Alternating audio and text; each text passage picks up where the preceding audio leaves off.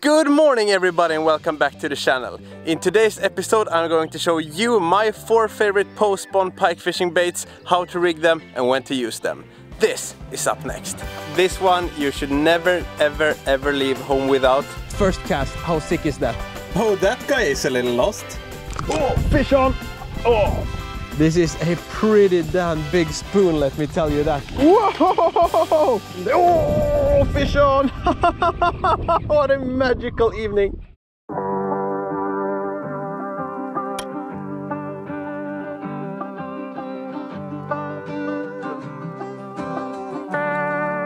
So I am standing here just in my t-shirt and that is probably the best way of knowing that the post-spawn bite should be on. It's well over 20 degrees in the air and almost 15 degrees in the water. And this should mean that the pike have moved out from the shallows and are now standing on a little bit deeper water, closer to edges and big rocks out in the deeper water. Post-spawn, that means after the spawning. And if some of you guys don't know what spawning is, it's when the pike are inside the shallows and making new small pike babies. When they do that, they can be really really hard to catch but now afterwards they are so so so hungry. And to make your post-spawn pike fishing as easy and effective as it should be, I have put together my four favorite lures to use after spawning. Let's dive right into the first one.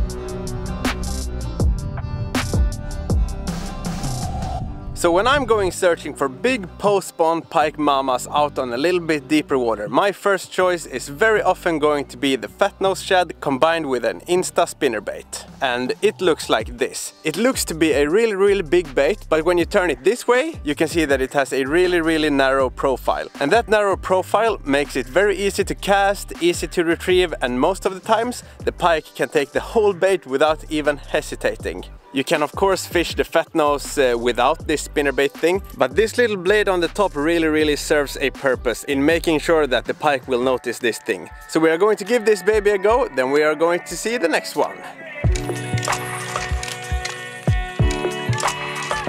Around here we have deeper water and we're standing just on the edge from shallow to deep water. So let's give this place a go. So in terms of rigging this thing, so first we have this one, the Insta spinnerbait separately then we have a flex head and then we have a stinger. It's really so simple if you just follow these simple steps. You just screw this one in just like this, make sure it's rather centered. See, just like that and it's good to go. Then we just pinch the treble right in the belly and that's it. When you move this guy in the water, you will know why the pike like it so much. And now it's time to see what the post-spawn pike like about the fat nose. Now we know we're on the right spot. This is exactly the type of weed we're searching for. Oof. That's what Truman would say. Oof.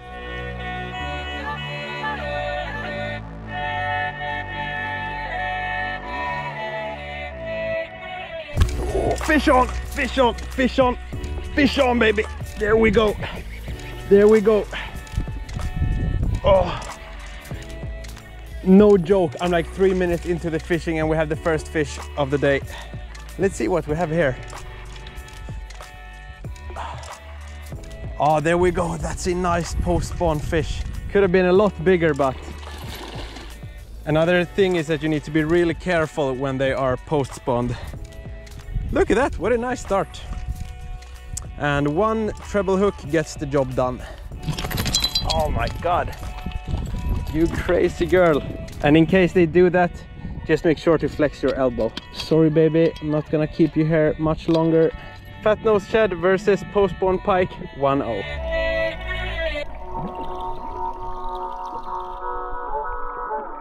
So that's the first fish and I have legit been fishing for like three minutes. This color is called Okoboji perch and I really really like it for post-spawn pike fishing. So, lovely start, but we want something much bigger than that.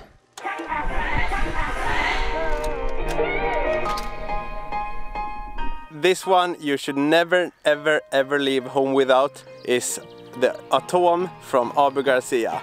This is their rather new 55 gram version and this bait can absolutely blow your mind on how good it is for post-spawn pike fishing. They come in many different sizes and colors but the 55 gram in some sort of silverish color can be absolutely lethal for post-spawn pike. And if this one is a little bit too heavy for you, then just go with the lighter version. But I have a pretty heavy rod, so then I will always use the 55 gram. We all know big baits catch big fish. It's just so simple, but yet so effective.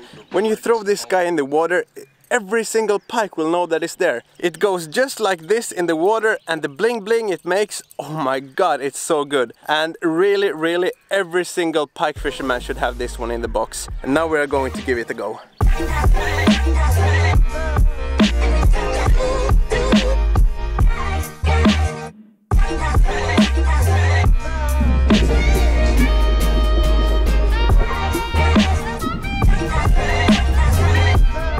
To move back to the 9 foot rod and to the Atom 55 gram. This is a pretty damn big spoon, let me tell you that. But boy, when the fish sees this, they cannot hesitate. They also cast to the freaking other side of the bay. Oh, come on. They're really focused. Oh, first cast. How sick is that? Oh my god, that's a big fish. Oh my god, oh my god, that's a big fish. Oh my god, first. Nej! Fuck! You're not allowed to say that. First cast. Merde, Scheiße! Fan! Oh, come on. First cast. Oh, fish on, fish on, fish on, fish on. I was just going up into the front of the boat because I saw some fish eating up here. And now we have something nice on the hook. What might you be, dear friend? Man, how nice. Whoa! You need to be careful of the trolling motor, girl. I mean, look, what a freaking chubby fish. Now I really would need a friend to help me, but we're gonna make it without it. And there we have it. Look what a freaking fat fish. Look at how chubby she is. This one has made it past some seals or cormorants or something. Lucky girl. And now, now you got fooled by me. Poor, poor girl. Right, there she goes. Are you okay, baby? Yeah, there she goes. Look at my hands. This is how it should be during post-spawn. Well, that was rather interesting, but I'm not surprised at all they, they took this old spoon.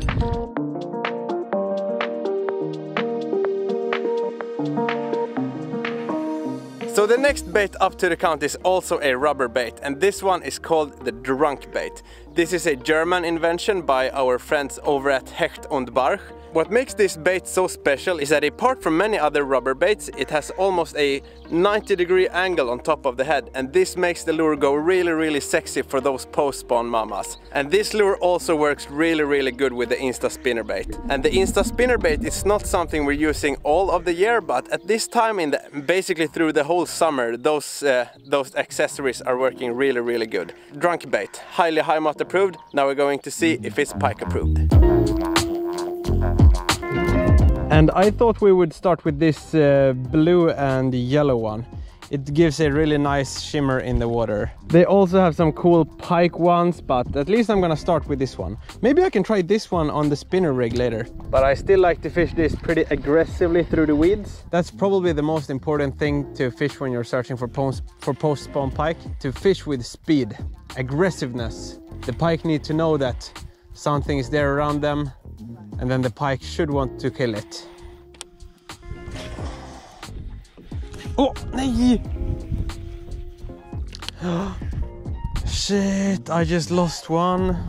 I just lost one pike on this one. Can't catch them all. And that just made me wonder, you know, sometimes it's just something with the color or the vibration of the bait.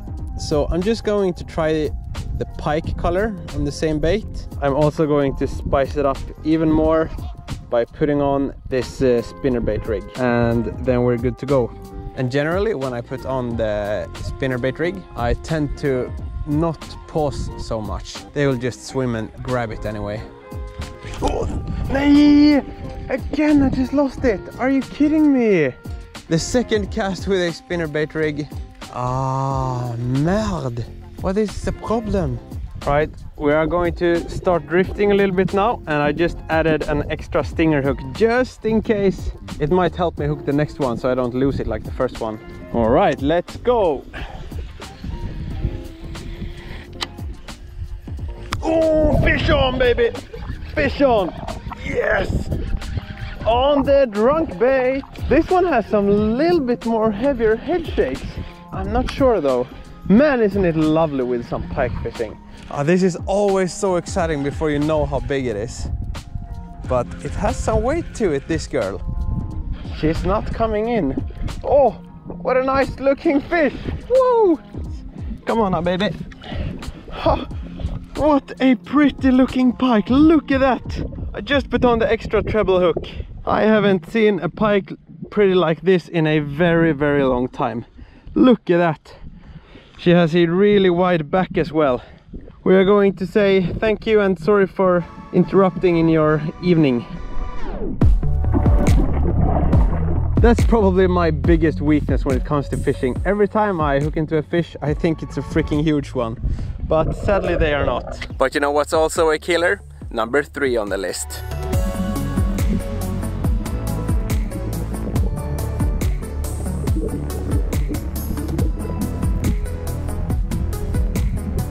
And number three on the list is a chatterbait. And this chatterbait is called Wild Header from Megabass. And Megabass, for those of you who don't know, is a Japanese high-end producer of fishing baits, and this one is no exception. You can catch many, many, many pike on this thing before it breaks. You can either choose to fish it with a trailer, like I do. This is the X-Layer Curly, and it's actually designed to be a trailer for the wild header, but you can also fish it without any trailers, and that way you will catch every predatory fish that swims in your waters. You can catch perch, sander, but most of all, post-spawn pike. And a nice bonus thing with using the Megabass Wild Header is that it's almost weedless with its, uh, it has only one single hook on it and the blade really really fades away from the grass. So now we're going to give this baby a go. Megabass Wild Header plus the X-Layer Curly 7 inch. It's quite a big bait. I think I also might put a stinger onto this one. But first let's try without it. Oh my god, that is so insanely hot. Let's give it a go. Oh man, the vibrations you feel in your rod when you fish with this bait, it's absolutely incredible.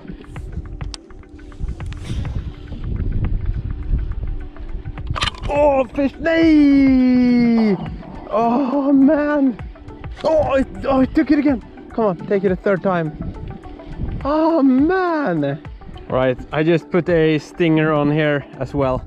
Let's see if that can make my next fish come into the boat. Oh, fish on! Fish on! Oh! On the wild header! Really, with these vibrating baits, oh, they take it so hard every single time. Let's see what we have here now. Whoa! She's crazy! And you see here on the North Silver 585 fish that we're using, we have these fish landing platforms. So sometimes we go here. Oh, and luckily this one is on the Stinger too. How could you not see that this is not dinner for you? right down the throat. Oh girl, you're so beautiful, but you need to grow bigger and you need to be able to tell the difference between a roach and a chatterbait in the future. Okay, bye bye. It's a really, really handy way of releasing them and won't hurt them at all. And just to prove it to you guys that they will eat this bait without something back on it, I'm just gonna take a few casts and show you how simple it is. And also the way I work these chatterbaits, it's very, very simple. I just reel them straight in. No pauses, no nothing, just a steady retrieve. I can sometimes, if I have fished a long time without having anything on the chatterbait, I can start to sometimes reel it a little bit slower and then speed it up a little bit. And then usually when I slow it down, I get a bite, still that the blades are spinning, so to say. So what we want is never for this blade in the front to stop spinning. And they cast like a freaking cannon, these baits. Oh, fish on! Oh, fish on. Oh, what a take. I, it almost felt like I hit the bottom. Wow, what a take. Let's see her. Ah, she's a pretty nice one. She is a pretty nice one and she broke my rod almost. that was bigger than the last one I caught, but smaller than the biggest of today. But these chatterbaits, I will tell you one thing folks, they do work pretty damn good. All right, that's it for the chatterbait. But I want to thank the wild header for doing its part. I almost landed the second biggest fish of the day on a tiny lure like this. Never be afraid to downsize because bigger fish will eat it too.